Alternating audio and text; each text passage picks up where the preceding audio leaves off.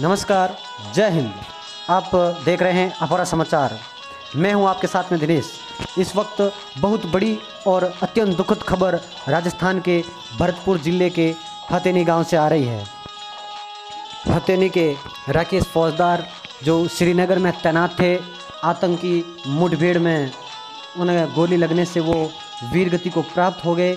यह सूचना commandant officer ने परिजनों को दी है। सूचना मिलते ही पूरे ज़िले में शौक की लहर छा गई।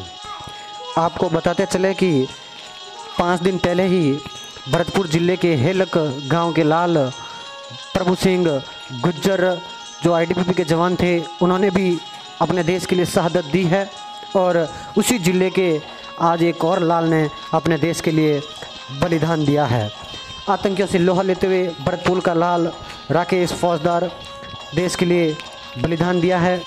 राकेश फौजदार को नम आँखों से श्रद्धांजलि अर्पित करते हैं।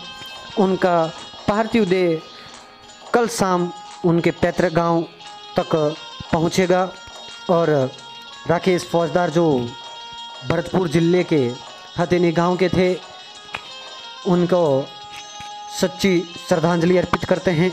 अपौरा समाचार की ओर से मैं उन्हें नमन करता हूँ। जय हिंद। जय भारत।